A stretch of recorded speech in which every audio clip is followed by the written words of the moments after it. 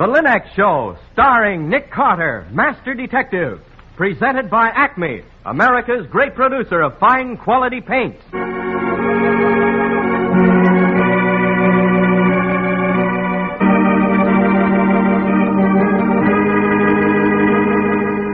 This is the story of a man known the world over as one of the most daring and resourceful characters in the history of detective fiction. A man whose name has become a symbol of the triumph of right and justice over the sinister forces of crime and lawlessness.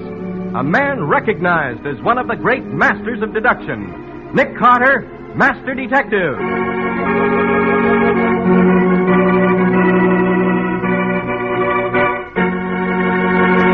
Today's exciting case The Vanishing Postman. Another exciting chapter dramatized from the life story of Nick Carter. In just a moment, we'll hear how Nick Carter investigated a baffling seven year old crime and solved a murder through the eyes of a blind man. There's no time of year when a busy homemaker needs cool, leisurely relaxation more than during the summer months. And you can have that kind of relaxation when you do your homemaking the easy Lin-X way. Just follow the example of wise American homemakers everywhere who have learned the magic shortcut to household care. Those three great Lin-X home brighteners. Lin-X Clear Gloss, the modern brush-on finish, Lin-X Cream Polish for fine furniture, and Lin-X Self-Polishing Wax, the amazing new quick-drying wax product. Start now to enjoy extra relaxation every day. Enjoy that added leisure in a home that's sparkling with bright new beauty. Just ask your hardware, paint, or department store for the three great Lin-X home brighteners and save time the easy Lin-X way.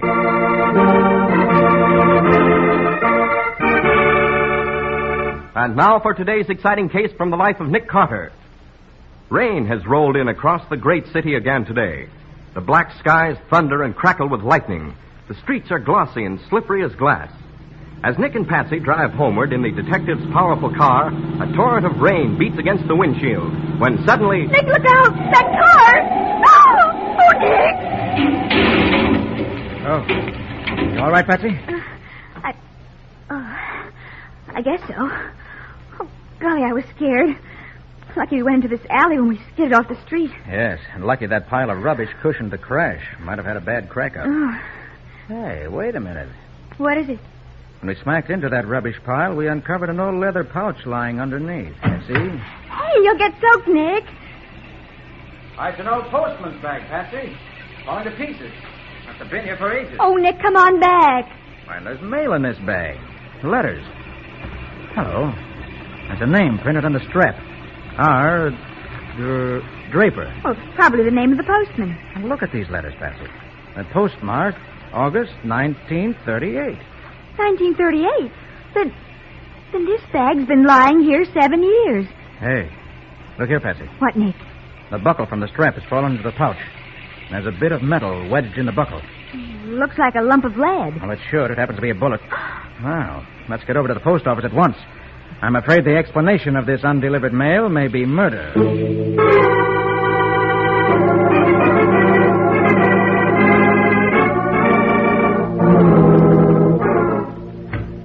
Ah, Patsy, mystery. I found that postman Robert Draper vanished seven years ago, and that the police and postal authorities believe him to be guilty of theft because a registered parcel containing $10,000 in securities also vanished at the same time. Oh, Nick, he stole them? Theft can't account for that bullet we found wedged in the buckle in the pouch, Patsy.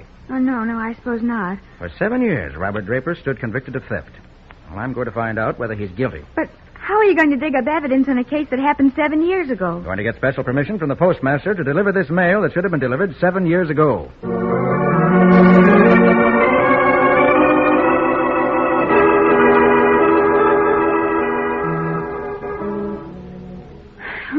We've learned nothing so far in the first 47 letters we've delivered. Perhaps we'll have better luck here with the 48. Yes, Are you Betty Barnes? yes. I'm Nick Carter. This is my secretary, Patsy Bowen. Nick Carter. Oh, please come in, Mr. Carter. Thank you. I have a letter here for you, Miss Barnes. Mrs. Barnes. Oh, sorry. I have a letter that should have been delivered seven years ago. Seven years ago. I'd better explain. You see, seven years ago, the postman who served this district disappeared. His name was Robert Draper. What's He's going the- on here, Betty? Dan, it's about Pop. What? Well, he. Great they, Scott. uh, Don't tell me that Draper was your father. Now, now, look here. We fought that case seven years ago. There's no sense raking it up again and making out Betty's dad was a crook. Pop never stole. Why should he? He'd saved twelve thousand dollars. He had plenty of insurance, twenty thousand dollars worth. Mrs. Barnes, please. Well- I'm not trying to convict your father all over again. I'm trying to find out what really happened. But you'll have to help me. Oh, I'm sorry, Mr. Carter. Now tell me, what happened on that last day? Well, Pop left in the morning. You see, he lived with us, and he always used to drop in at home for lunch. Well, the day he disappeared, he just never showed up for lunch. When Dan came home that night, I sent him out. Yes, to I, tell- uh, I went out to check up Mr. Carter. They said he never returned to the post office, and that's all we know. We never saw Dad again. I see. Mrs. Barnes, you have a picture of your father I might have? I- I'll, I'll get him one, honey. You know, Mr. Carter, it was on my birthday that Pop disappeared. Oh, how awful, Mrs. Barnes. Here's one, Mr. Carter. He's not in uniform, but it's the best we've got. Taken a week before he disappeared. Thank you. I'll let you know how we make out. Oh, yes, here's your seven-year delayed letter, Mrs. Barnes. What? Oh. Oh, Dan, look. It, it's a birthday card from Pop. It says, Happy birthday, daughter dear. Best wishes on this day. My heart would always find you near. Though I were miles away. Oh, Pop. Oh,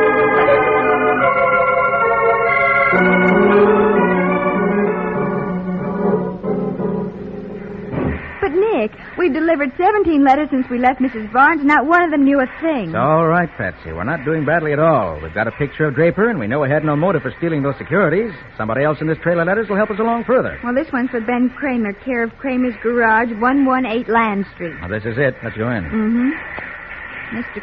Kramer doesn't seem to be around. Now, wait a minute. Now, I hear voices back there. Come on.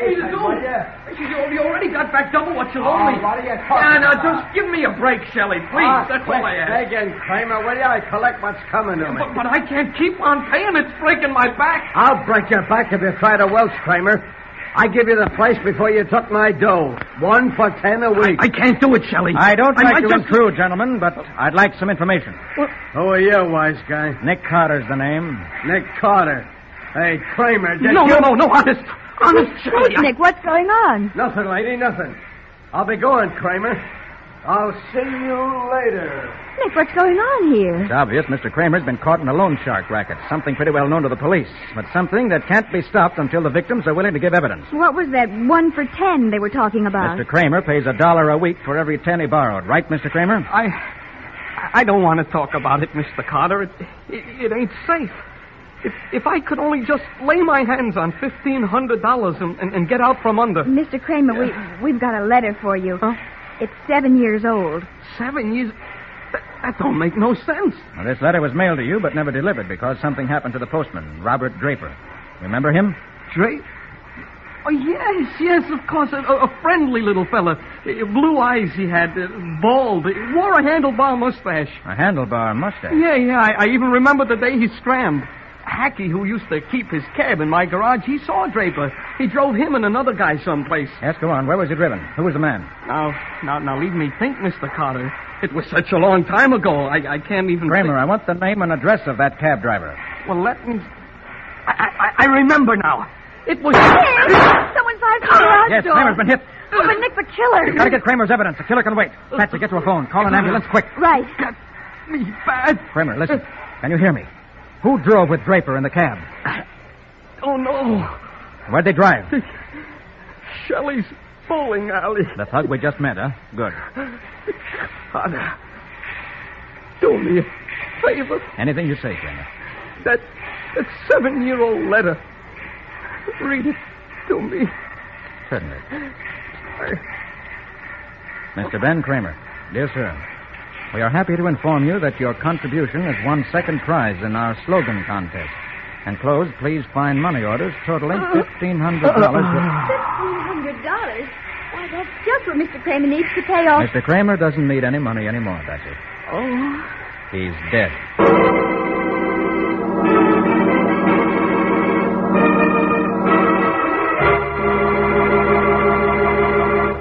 Birthday greetings seven years old, and now murder from a delayed mail delivery. What new and strange developments will arise from Nick's odd mission? We'll see in just a moment. The wisest worker is the one who saves as much work as possible, yet gets the job done. That's efficiency. And the efficient way to take perfect care of your floors and linoleum is to depend upon Lin-X self-polishing wax.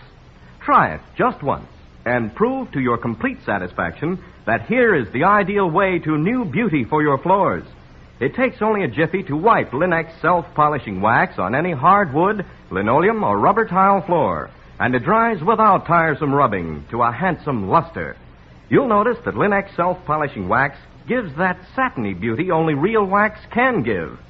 You'll find, when you step on that floor, that Lin-X self-polishing wax is the anti-skid finish, for your floor will be less slippery than it was to start with.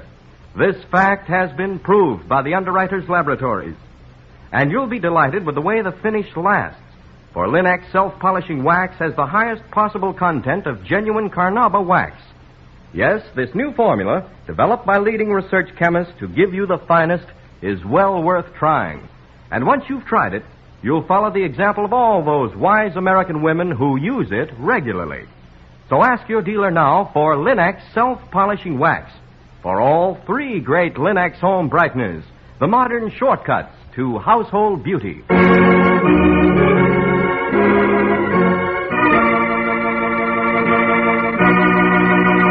And now back to our story. Investigating the strange disappearance of Robert Draper, postman, accused of absconding with registered securities he was carrying, Nick and Patsy pick up the trail of the old mystery by delivering mail found in the postman's abandoned pouch. Now we find them in the street after the sudden murder of one of their witnesses. What do we do now, Nick? Wait for the homicide squad to arrive? Oh, no. Sergeant Matheson will only hold us up, call us material witnesses, and all that. Now, I want to get on with the case. At the Shelley bowling alleys? No, not yet, Betsy. We haven't enough evidence for a direct frontal attack on Mr. Shelley. Oh. Let's get on to the mail delivery. There are more clues waiting for us to pick them up. Who's next? A postcard addressed to Mr. Parker Flint, Homewood House. Homewood House, huh? Mhm. That's the exclusive apartment house in the corner facing the river. Uh huh. Come on. Let's see what Mr. Flint can tell us.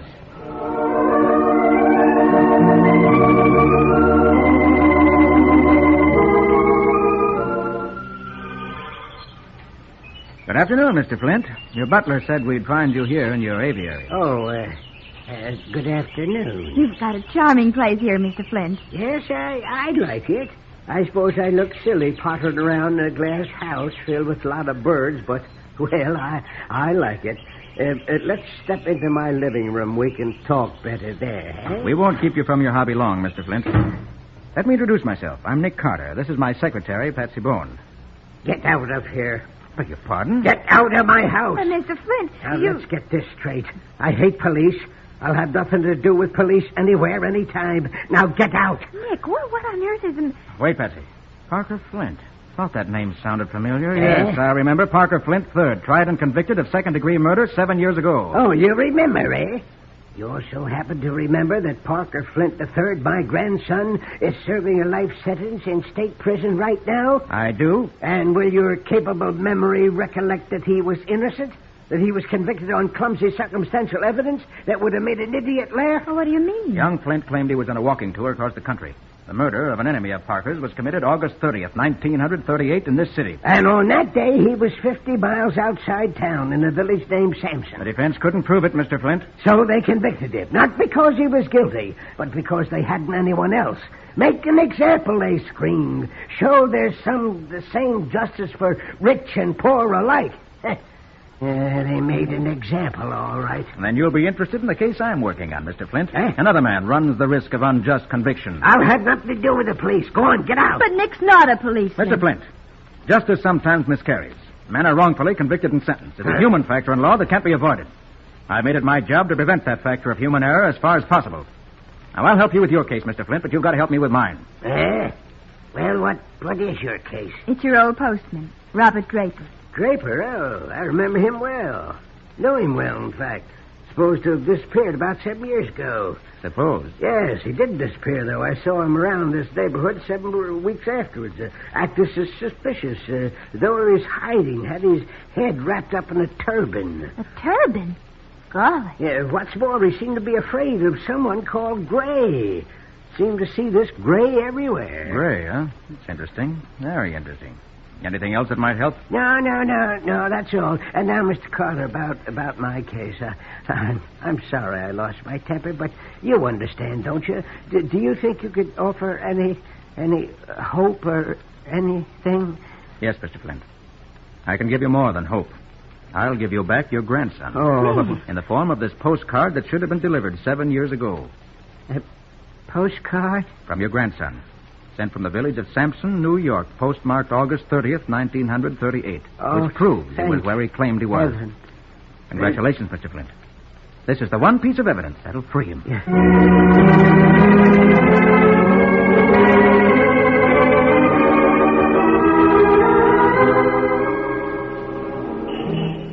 Well, Nick, how do we stand? Any closer to the vanishing postman? Yes, indeed, Patsy. Mr. Flint brought us a good deal closer. How so? That turban, for one thing, is very significant. And Draper's fear of someone called Gray, even more so. But we haven't come across anyone named Gray so Now, far. hold everything, Patsy. Here's our next stop. Residence of Miss Jennifer West. Miss West's got a seven-year-old package coming to her. Well, let's hope we can trade it for information.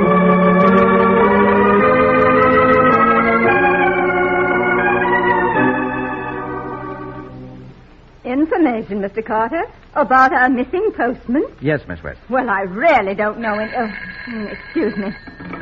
Hello? Oh, hello, darling. No, no, you're wrong. It's the orphan's benefit. No, no, the 18th. I put you down for a box. No, certainly you can't get out of it, dear. It's a worthy cause. Yes, yes. All right, bye. Now, let's see, uh, where were we? You were going to tell us what you remember about Mr. Draper's disappearance. Oh, but I don't know anything. I don't even remember him. Well, here's a photograph of him. Hmm, no, no, I'm sorry. It isn't a bit familiar. But I have such a miserable memory for faces. And in my work these days, I see so many. Day in and day out. Child Welfare Association, the canteen, the city hospital. City hospital. Oh, I met the most interesting man there yesterday. He was in the psychiatric wing, room 325. Um, but, Miss West, and we... with the strangest disease. Monochromatism, they call it. And he's so cheerful about it. Monochromatism. Oh, it's a technical name for blindness of some kind. Such a nice man. His name was his name was uh, was Gray. Gray? Hmm. Oh, Nick. I heard, Patsy. Thanks a million for your help, Miss West. Hmm. And here's your reward. This long overdue package. Seven years overdue. Why, why that's Gary Horton's handwriting. Oh, once upon a time, Miss Byrne, I I thought Gary and I might. Oh well, you understand. Yes, Miss West. But he's so very shy, and I. Oh, oh, look, my dear. It's flowers. Artificial flowers. No, they're not artificial. That's a bouquet of live forever flowers, and they're from Gary. Oh, here's a card. Dearest Jen, I've been wanting to ask you this for a long time. Never had the courage. Now I have. Will you? Oh, Miss West, it's a proposal. Seven years ago. And he never knew I hadn't received. He thought my silence meant. Oh, oh, excuse me, please. Uh, let's get out of here, Patsy. I've an idea that for the first time today, Miss West's phone is going to hear her say yes.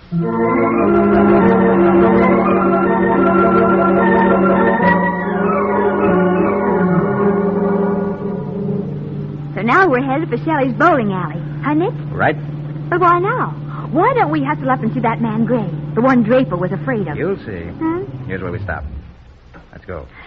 Nick, what happened to the postman? Was he murdered by Shelley? Did Shelley murder Kramer, too? Come on, come on, come on. Oh, Golly, what a busy place. And there's our old friend, Mr. Shelley. Mm-hmm. Hello, Shelley. Mind if we have a chat? Now, look, don't come pussyfooting around my place. You got nothing on me, Carter. Oh, that's what you think. Bluffing ain't gonna do no good. Don't try and tell me Kramer talked. He knows better. Kramer can't talk. He was murdered. He, he was what? Murdered. Shot to death. You're lying. He was murdered in an attempt to keep me from uncovering the secret of Robert Draper's disappearance. Draper, the postman? This is a frame-up, Carter. Still innocent, huh, Shelley? Well, suppose you come over to the city hospital with us. Oh, City Hospital, eh? Now I know it's a frame. I heard one of your plainclothesmen calling City Hospital this afternoon, finding out the visiting hours, getting a beautiful frame up all worked out, and from my own joint, too. What's that? I ain't taking cards on this deal, Connor. I'm getting out of here. Nick, he's, he's running out. Aren't you going to go after him? Patsy, what time is it? Uh, uh, five of eight. And we've got five minutes. Visiting hours starts at eight at the hospital. Nick, what are you talking about? I never thought he'd go that far, Patsy. Come on. We've got to stop a visitor at the hospital tonight. Who? His name is Death.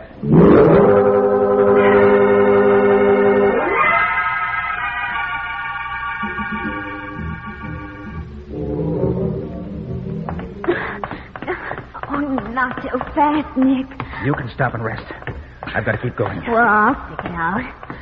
Where are we headed? To the east wing of the hospital. Psychiatry. What time is it? Uh, two minutes after eight. We may have enough time then. Nick, we're going to see that man Gray, aren't we? Yes. Miss West said he was in room 325. Well, this is 315. 317. 319. Here we are, 325. Yes, it says on the card monochromatic blindness. You can read the card later, Patsy. Inside, hurry. Hey, pitch dark in here. Careful, Patsy. Ouch! I, oh, I just bumped into one of those rolling tables. Where's the light, Nick? Get down, Patsy. It's a killer. Get out of the way. Where's that rolling table? Here goes, Patsy. Oh, you got it, Nick. I heard the gun drop. It's only the beginning, Patsy, but the beginning of the end for us. Ah, I found you, huh? Oh, Nick, oh, careful. No, don't, mister. Oh, no. At least not without a gun. Oh. Nick. It's... There. Now, all right, now lie still. Patsy, Yes, Nick. try and find the light. Probably alongside the door. Well, I've got it. Nick, you're sitting on Dan Barnes. Right, Patsy. Dan Barnes, Robert Draper's son-in-law. Barnes is a thief who robbed Robert Draper's mailbag of $10,000 worth of securities seven years ago. It was Barnes who took for himself the $12,000 which Draper had saved up before he disappeared. And it was Barnes who hoped to collect 20000 more in life insurance if Draper stayed lost seven full years so he could be declared legally dead. But, but that man in the bed, that's not the same man as in our picture. Well, nevertheless, Patsy, that unconscious gentleman, a near victim of suffocation at the hands of Dan Barnes, is our long lost postman, Mr. Robert Draper.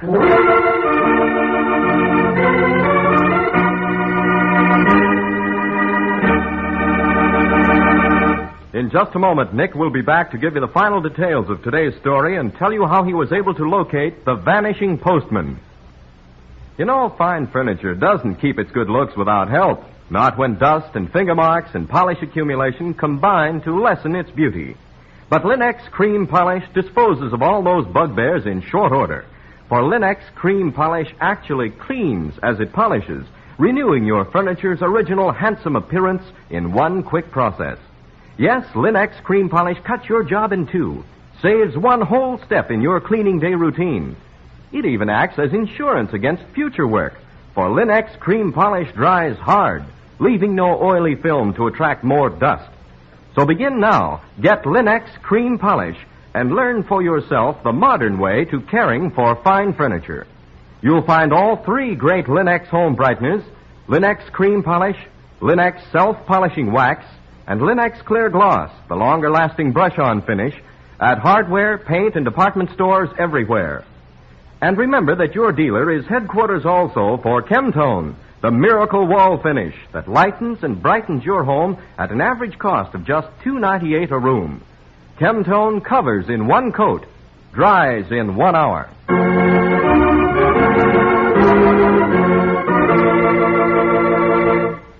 And now let's hear from Nick Carter himself. Nick, I still don't understand. What happened to Draper seven years ago? As I see it, here's the story, Patsy. Seven years ago, Draper met his son-in-law, Barnes, as usual, to go home and have lunch with him. Uh-huh. He probably confided in Barnes that he was carrying valuable securities and a registered letter. Barnes is the only man Draper would have told, since a postman's job is highly confidential. Well, that's right. They don't go around telling strangers what they carry. All right. Well, on some pretext or other, Barnes lured Draper to the alley behind Shelley's place and shot him. Then he took the securities from the bag and left. He thought he'd killed Draper, but the bullet only creased Draper's head, rendering him unconscious. Oh. Then what happened? Draper recovered consciousness, but he was badly wounded. Mm. The shock of the wound produced amnesia, and the wound itself produced a brain condition called monochromatism. That's day blindness. The victim can only see at night. By day, he's practically blind and can only see vague shades of gray. So that's what Mr. Flint meant. That's it. And that's what the turban meant. Oh. It was Draper's bewildered attempt to bandage his head. For a few days he wandered about, dazed, without memory, mumbling that he could only see gray. Finally, he was picked up and taken to the hospital. Barnes, who must have seen him wandering around in a dazed condition, realized he was safe so long as Draper's mind was gone and Draper was lost to the public. So he decided to let matters ride and wait. And then we came into the case. Only, I can't understand one thing. Why didn't anybody identify the picture of Draper when you showed it to them? Because it wasn't Draper's picture. What? I realized that when Kramer told me Draper had a mustache, remember? Mm-hmm. Barnes was alarmed when he learned we were on the trail and cleverly handed us a photo of another person, hoping it would throw us off the scent. Oh. Then he followed us as we delivered the mail, waiting to see what would happen.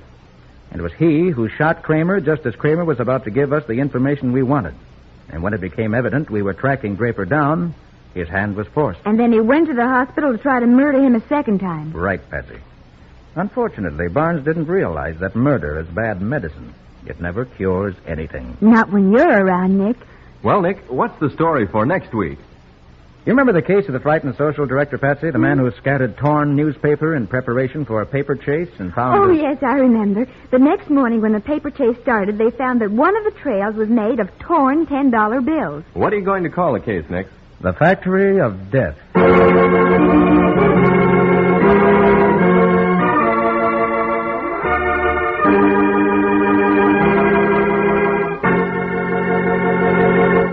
And now a final word from Nick Carter. And a very important word, too, Ken. Friends, right now there is no better thing you can do for the protection of America's future and your own than to buy United States victory bonds. And by all means, hold your United States war bonds. Help to keep America secure. Help to prevent inflation. Help in the transition from wartime to peacetime by buying and keeping your war bonds until they mature. And by buying those all important victory bonds now. Nick Carter, Master Detective, which is produced and directed by Jock McGregor, is copyrighted by Street and Smith Publications, Incorporated. Lon Clark is starred as Nick. Charlotte Manson plays Patsy. Original music is played by George Wright. Script is by Alfred Bester, and any resemblance in these programs to actual persons, living or dead, is purely coincidental.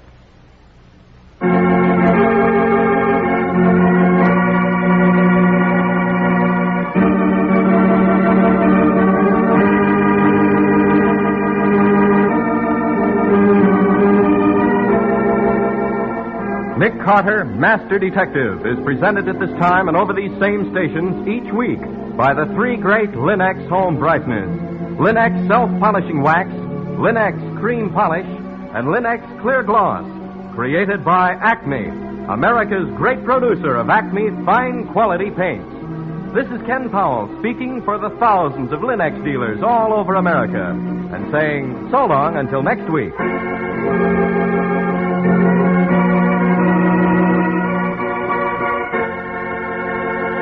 This is the Mutual Broadcasting System.